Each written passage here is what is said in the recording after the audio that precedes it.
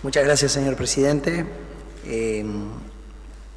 cuando llegamos a esta, a esta banca trayendo la voz de, las personas mayores, y bueno, y como médico obviamente luchando siempre por la salud de los duraznenses, eh, no olvidarnos que tenemos pendiente todavía realizar con usted el edil adulto mayor por un día. Es algo que debido a la pandemia hemos tenido que posponer en algunas oportunidades, pero que eh, ni bien retomemos luego del receso, queremos realizarlo y el compromiso para que cada adulto mayor referente de cada localidad pueda estar en esta sala y hacer los planteos de acuerdo a sus necesidades. Así que Redam a seguir trabajando y son el deseo este, de que todos ellos puedan ser escuchados de acuerdo a las necesidades de cada uno. Eh, en otro orden de cosas y hablando del tema salud, eh, se han acercado planteos eh, de muchos pacientes, muchos usuarios, tanto de la salud pública y privada, eh, reclamando ese espacio que han ganado con tanto derecho lo que es la judeza, esa Junta Departamental de Salud donde hay un montón ¿verdad? de propuestas, inquietudes por parte de usuarios, por parte de los prestadores, por parte de la Intendencia, del gremio médico, del gremio de los funcionarios de la salud, para que podamos entre todos construir la salud de este departamento. Y, es por eso que, bueno, eh, quiero que, se tome con, mucha celeridad en este nuevo año que comienza y debido a que la pandemia ha bajado un poco su velocidad, eh, en poder retomar esas instancias de discusión que son tan sanas para construir entre todos la salud que queremos en Durazno, en todo el departamento. Eh, distintas localidades del interior, distintos barrios se han visto mermados en la atención. Escuchábamos a, otros compañeros ediles planteos en policlínicas del interior.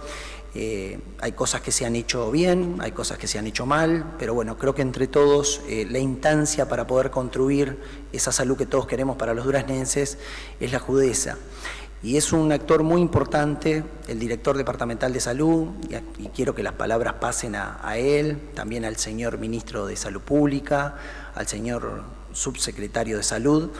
para que podamos eh, retomar, dado que desde la Dirección Departamental de Salud es quien debe presidir la judeza para que podamos este, encaminar esto. Y mm, en el tema salud también quiero felicitar al Hospital Emilio Pensa y a la, a la, gestión que están realizando en que muchas veces en algo tan difícil como es el servicio de medicamentos para pacientes oncológicos, personas mayores, pacientes que están en,